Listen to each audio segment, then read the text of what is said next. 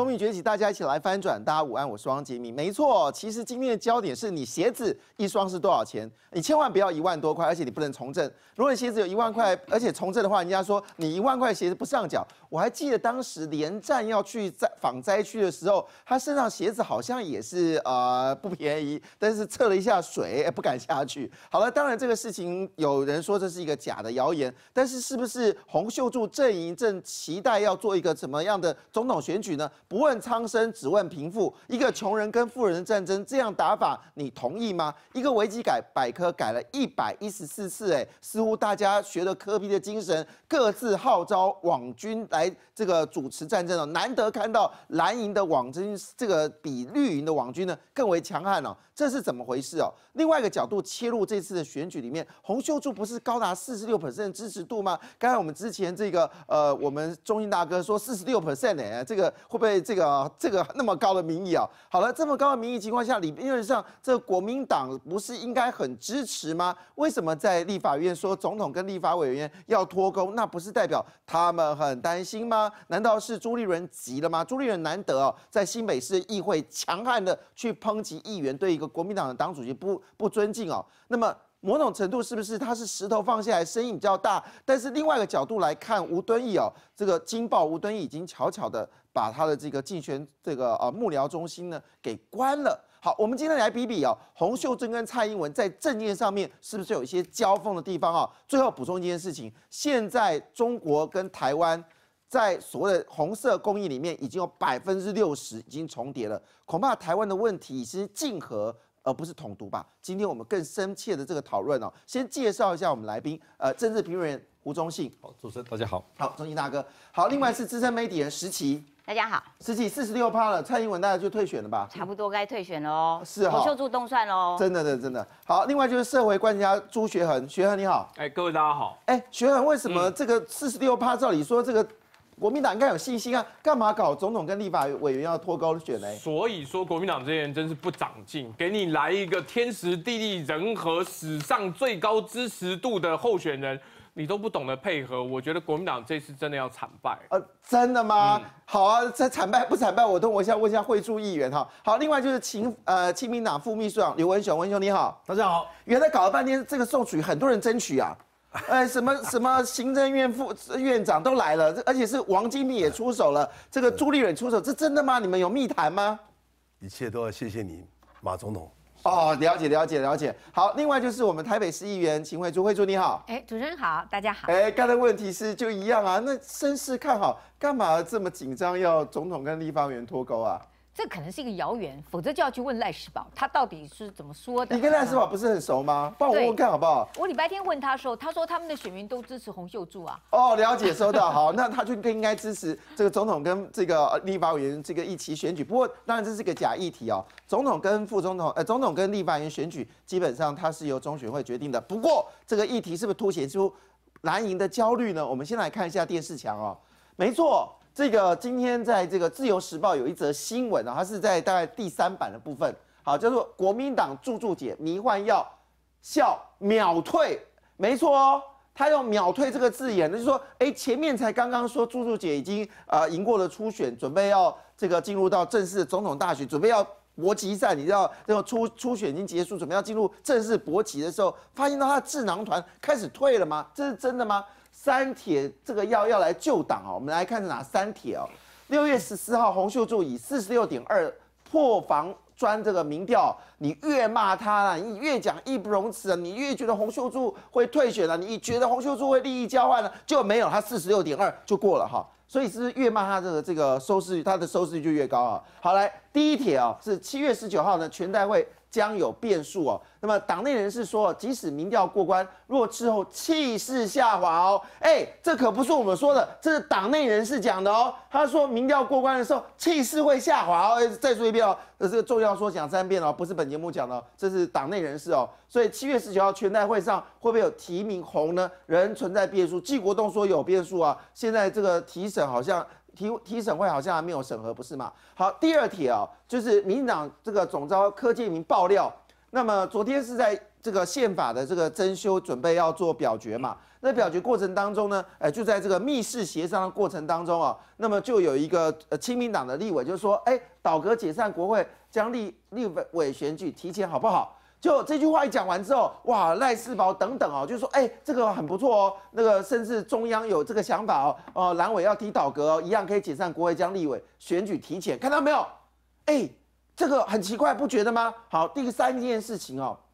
因为我们在讲这件事，我们要凸显一件事情，说四十六点二应该是国民党从头到尾每个人应该是振奋很高兴，尤其是高层应该高兴。哎，四十六点二很久没看过，马这个马英九最高也不过就是十五趴而已，不是吗？好了，那么主张一个月后再修宪了。那么六月四号，亲民党李同豪说总统立委脱钩的主张，这是第三点。好，所以看起来基本上有可能是倒阁，或者是这个总统立委选举脱钩。我刚刚讲反了哈。第二点是蓝委直接谈倒阁，第三点是由亲民党亲民党立委这个李同华说总统立委出选脱钩啊，这部分呢实际上这个呃就是国民党是支持的，哎，这三点到底在说什么呢？当然我们还是要呃忠实的回应哦这个当事人的说法。那么六月十号下午四点，国民党这个党人记者会哦。那么，因为这事事态很大嘛，哈，那赖世宝就说，哎，这些话哦是李同煌讲的哦，他没有附和，可是为什么要嗯嗯嗯的声音呢？他说，因为那时候喉咙不舒服，咳两声呐，哈，哎，不过怎么咳两声可以咳到那么大，让这个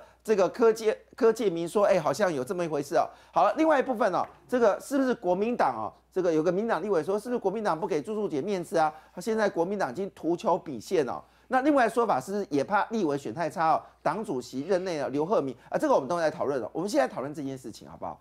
哎，明明这个我要问一下石奇，明明这个气势很旺，不是吗？为什么这个看起来他们立法委员又要说那干脆倒阁算先先选？那你你这个意思说洪秀柱不能支持吗？啊，另外一个说法是说这样好了，分开分开分开，这是怎么回事？这很奇怪啊，因为国民党当时在这个洪秀柱的防专民调一过的时候。他的支持度是过半的哎，然后他的呃五十趴五十趴的防砖条款下来是四十六点多趴哎，当时他就说哇这母鸡超强的，就算改回原来的八十五比十五这样子的比例的话，它也是会破砖呐，这证明它真的是一块琢磨好了的玉。那既然这个样子，而且洪秀柱又不断的强调他自己是一只。会飞的母鸡，那所以国民党内所有的小鸡应该都开心的叽叽叫啊，不是应该这样吗？那所以在这种情况之下，为什么昨天在立法院会有这种总统跟立委选举脱钩的这样子的声音呢？事实上，因为昨天是立法院最后一天嘛，所以势必要挑灯夜战，有很多的案子都要赶快协商，然后赶快去通过，对不对？那所以当协商到修宪案的时候，因为国民党跟民进党两党的意见不一样。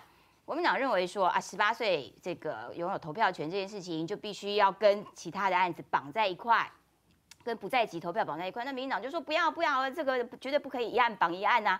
好，两党都很激动的时候，这个时候第三者出现了，也就是亲民党的李同豪。是。他说那既然这样子的话，那不然就嗯修宪案就缓一缓嘛，因为两党现在情绪上面正在激动啊。那就因为我们的修宪案哦，现在是这个样子，因为我们修宪完。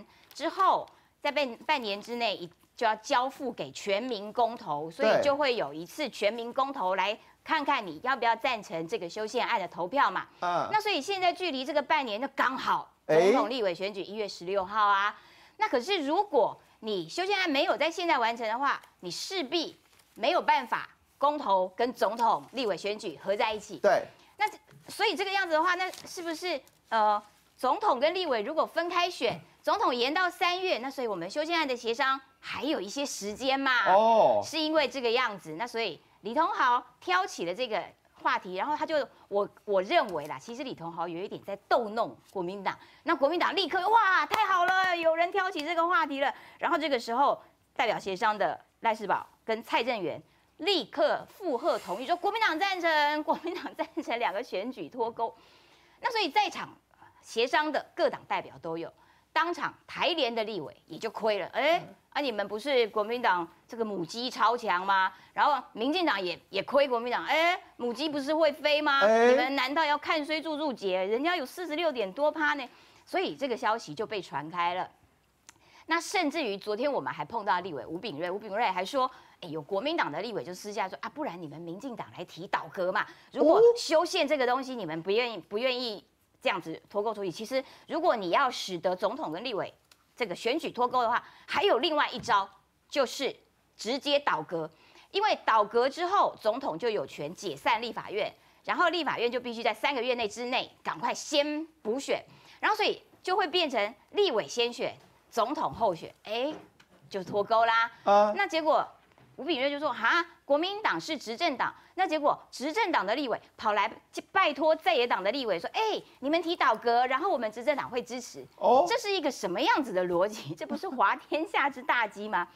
那可是因为赖世宝他不但是协商代表，而且他很重要的身份是国民党的大党编。大党编如果采取了一个附和的态度，认为哦，我们国民党会支持的话。那事情可就不这么简单了，因为他既然是党编代表，这是党中央给他的指令，他的态度代表党中央的态度。可是党中央不是才刚刚通过洪秀柱的提名？难道党中央其实对于洪秀柱其实是没有信心的吗？担心这个母鸡其实会踩死这些小鸡吗？这就很耐人寻味喽。不过我回过头来要讲说，呃，事实上在洪秀柱的民调一出来之后，我们看到整体国民党。情绪是非常非常的高涨，觉得啊，终于有一个这个真正的人，真正的这个女汉子来来承担，然后呃，民调也冲得这么高，所以她有四十六点多趴。不过我的了解是说，因为在对比式民调的那个部分呢，他也没有公布详细的内容，没有公布详细的数字，只告诉大家说洪秀柱是四成。那是不是有不表态的部分呢？还有你对手蔡英文是多少呢？这些东西都没有公布。但是我了解是其实。他其实是去除了不表不表态部分，也就是说，对手蔡英文是六成，六比四这样子的状况。对，那所以这个呃一综合一下，就变成四十六点多趴，看起来数字很漂亮。但是如果你实际上拿出来跟蔡英文两个一对一的账来看的话，其实还是差距蛮大的，一个是四，一个是六。那所以在这种情况之下，国民党的迷幻药吃过一天两天之后，现在也差不多药效该退了。那有些人药效退的比较快的人，他可能就会思考到这件事情，就是说，当洪秀柱你如果提出来的主张是没有办法使得国民党振衰起弊，或者是更扩张选票的话，这会连带影响到国民党在立法院的实质多数这样子的一个优势存在。那所以在这种状况底下，就。只好想说，那不然我们就来脱钩好了，让总统候选人对于立委选情的拖累能够降到最低。而且这不止我我的判断，不只是在中南部有这种效应。你看看，如果党中央有这种态度的话，表示其实在北部的立委选情，党中央也是担忧的。为什么？是因为侯秀柱其实走的是一个集统的深蓝路线。那如果要走几种深蓝路线的话，新党其实是一个很好的对照组嘛。如果几统深蓝在台湾是有市场的，新党会变成现在这个样子吗？不会嘛，他现在应该超茁壮的啊。那所以你走这条路线应该才是对的啊。可是事实并非如此，所以我我认为国民党的立委其实极为担心自己的选情，因为这对他来说是攸关生死的事情。那你不要影响到我，我还可以凭自凭着自己的力量，好好的去这个经营基层，去开拓我自己属于我自己的选票。但是当你要跟我一起选，而我们两个人合照的看板又被挂在这个各大桥头、各大这个这个路边的什么高速公路的梯坝上面的话，那很抱歉哦，我恐怕是真的会被这只会飞的母鸡给踩死的。哎，是啊，所以我们这个鸡到底怎么回事啊？来，因为周刊里面有谈到鸡啊，但是我们知道这个周刊是今天发表、今天出来的文章，那很明显这文章应该是在两天前出来的哦。那两天里面有问到鸡的事情啊，这是一周刊今天发表的哦。他说洪秀柱说，呃，他并不是担心母鸡会踩死小鸡啦，他强调我又不是鸡，哪来的小鸡的问题？呃，更何况现在情势已经翻转喽，不少立委哦已经直接向他表达要他支持。了，哎，这个是立委，是区域立委还是这个不分区啊？好，并且询问呢合作的这个办法。那洪就说，我们要翻转选举的这个生态啊，打一场不一样的选战。好，我们先讲到这边，因为我们等会谈到不一场不一样的选战。可是哦，因为这里面谈到一个所谓的这个选战的问题嘛，哎，学恩，是我这样讲才两天呢，六月十四号是四十六点二。这个破了防专民调。到了六月十六的时候，赖世宝的这个记者招待会不是说哇洪秀柱你好棒哦，素素姐我们一起来拼，而是说呃李同豪的解套方式我没有附和啊，哎怎么这个落差这么大？这不是气势，正是大好吗？哎，我我其实上节目有讲，你还记得的话，我说六月十五号民调就跌了，那原因很简单，是因为这是一个天时地利人和的期间限定支持。大家支持是觉得说，哎，国民党这样太不公平了，国民党太没有运动家精神了，国民党到现在连个候选人都出不来，简直混蛋。所以大家想说啊，那不管怎么样，我留在家里哦，支持一下，这是中间选民的想法，甚至偏绿也是这样想。哎，深蓝选民就觉得，哎，洪秀柱主战派，哎，开玩笑，这家伙是一个武斗派的候选人，以前在骂人、打人、抓人，什么都来，太好了，终于。有助于我党复兴，那您想想看，这个简直就是各党各派各种光谱的人都会觉得支持一下嘛，口头说一下好，又又不掉块肉，又不是真的把票投下去了。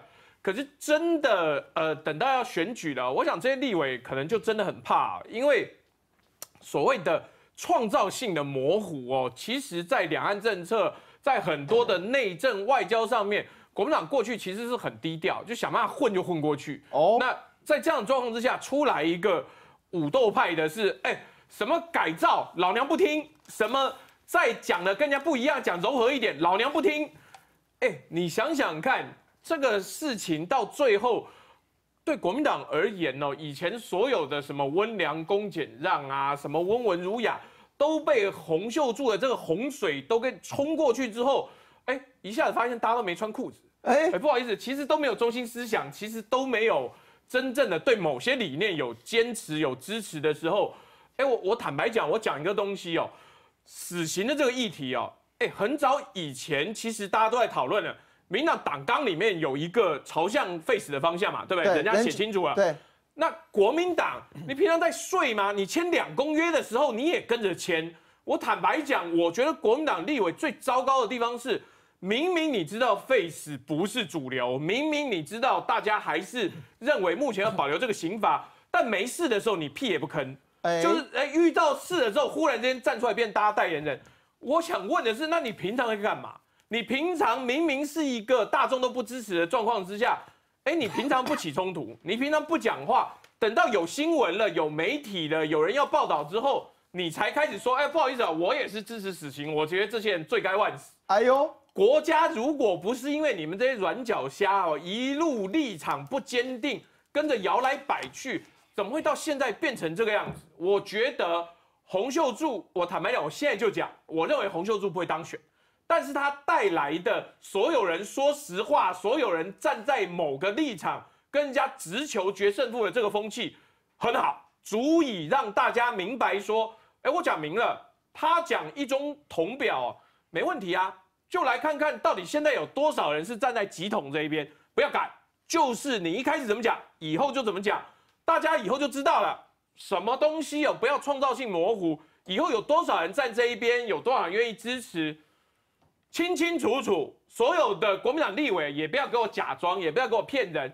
你党的总统候选人站这一边哦，你要么反对，要么支持，哎，你不要跟我讲说啊，不好意思啊，他是总统候选人啊，我们要期待这个母鸡，我们也没有办法。我觉得在这样的状况之下，两党就来一个直球对决，政权出击，在擂台上打个你死我活，民众要支持哪一边就支持哪一边，不要再说不清楚了。我觉得反而是好的。好，所以我们要说的一句话，哎，不要，你知道这个中国有个功夫叫棉里针啊，就是你看起来是个棉哦，那里面是有针。那女生呢有一个叫做这个裙里脚，就是你这个脚是在裙里面，那打出来之后才看到原来这个是有意思 真的假的？我我说这是真的。那我要说一遍事情，就明来嘛，哎，但是洪秀柱代表一个明来的一个特质哦，然后这个特质就要引领引领国民党不来棉里针哦，不来这个呃这个裙里脚。但是我也很好奇，在这个地方啊，两件事情。如果我今天是赖世宝，假设杰明是赖世宝，哎，难得今天这个红秀柱出来的时候，我我的这个我的记者招待会绝对不是我附和这个李同，哪有附和？开玩笑，红秀出这么强，当然总统跟立法院委员一定要去这个一起合并选，不是应该这样子吗？但是哦，其实他们担心什么地方哦？我等会要请教一下文雄委员哦。这个是今天哦，这个一周刊的内容，看到没有？就是这个讲到和平协议，因为我们最近在讨论它的两岸和平、两岸的议题嘛，哦，它两岸议题总主要是两个焦点，一个焦点叫做一中同表，另外一个就是为了要签和平协议。那这个事情呢，现在已经经过了就是剧烈的讨论，那是上很多人都质疑他的态度。那么可能和平协议的问题呢，已经大到他必须出来说，所以这是我们说的。一周刊里面内容哈，里面叫做已经提名了，就要开始变了哈，要急事宜。洪秀说，李扁马呢都有两岸和平协议耶。好，这个是李，这是呃扁。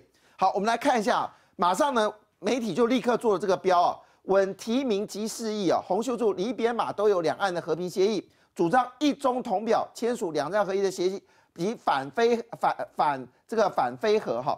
这部分呢是目前现在针对洪秀柱最爆炸的议题，一中同表、两岸和平协议，还有反非呃这个反非核，还有包括我们说的是不是民粹哦？但是我们过去看到一件事情，我们很好奇一件事：洪秀柱是准备出来选总统，还是他临时决定选总统？因为他抛出了和平协议的时候，和平协议在过去每次谈完之后下场都不是很好。还记得过去历史吗？来，一九九六年二月二十三号，李登辉在新春记者会提出用加班加的将八点即达成和平协议哦。结果呢？李卸任总统之后，反而多次批判此项主张，就自己就把自己的主张呢给打了。好，那么二零一三年哦，就是陈水扁的时代，在元旦文告，陈水扁主张两岸建立和平稳定的互动架构，并共同签订该协议哦，所以叫做和平协议啊。看这边和平协议。结果之后呢，发现这个事情对岸也没有给正面哦，所以扁就开始说了，他说对不起，这个一边一国就这么来的。意思说，李登辉提完这个事情，对岸并没有反应，他反而就说，呃，这个事情是不对的，是自己批批判自己。而这个陈水扁呢，是因为抛出这个议题的时候，对岸也没有正面，他干脆讲一边一国。好，接下来我们来看啊，蔡英文哈，蔡英文哦，蔡英文在立立呃院答询时说，我方已经提出具有建设性、完整。设想与规划及推动两岸签署和平稳定互动架构协议，这在二零零四年哦。结果呢，和平稳定架构呢的这个这个架构呢，并非和平协议。哎，所以看到没有，几乎所有的这些政治者都提，但是最后都打脸了。那马英九更经典了，马英九说，黄金十年国家愿景啊，抛出国家需要、民意支持与国会监督的三个前提下推动。发这个签署两岸和平协议，也就是说，这个在推动两岸和平协议的时候呢，正好有黄金十年国家愿景，就变什么？有人说是粪土十年，国家没愿景哦。结果这个情况是国民党叫好，民进党叫骂，亲民党呢审慎观察，最后呢不再提了。最后这个事情也不了了之，因为对岸也没有提。所以也就是说，如果今天洪秀柱是准备好的人，那他应该知道过去这些人提的时候，最后结果都跟事实。不是相同的。那我现在问一下文雄委员两个问题：第一个，李同浩为什么这时候开了洪秀柱一个大玩笑？而对对手为什么会 会复印这样的事情？第二件事情，到底洪秀柱是准备好出来选，还是没准备？因为这个角度来看的话，他当他说离别马都有提和平协议，最后结果都不是好结果的时候，他这时候提是要来转弯吗？我们先进个广告，再听一下文雄委员怎么说。